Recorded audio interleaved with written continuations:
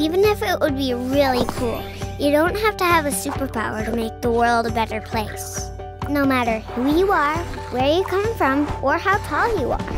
If you cared about something or if you see anything you would like to change, you can complain or you could do something about it. Start a petition that is a special, real, super fast superpower. Quick as a flash, you can reach millions of people all over the world. Your campaign can be talked about on TV and in the newspapers. And in the end, the very important people that make decisions, they have to listen to you. And you will make the change you want to see.